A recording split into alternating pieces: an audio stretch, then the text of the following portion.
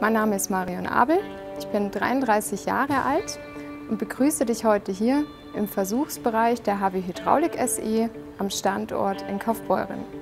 Ich habe Maschinenbau an der Hochschule in Kempten studiert und meine Karriere als Versuchsingenieurin in einem mittelständischen Unternehmen im Allgäu im Bereich der Fahrzeugprüftechnik begonnen, was eine solide Grundlage für meine Aufgaben bei HW Hydraulik gebildet hat.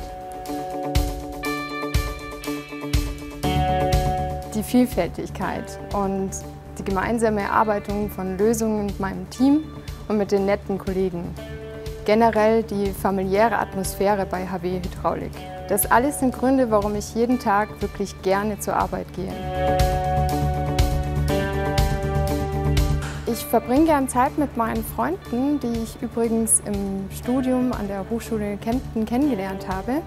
Und da wir im wunderschönen Allgäu leben, kommt man um Freizeitaktivitäten in den Bergen, an und in den Seen gar nicht drum rum.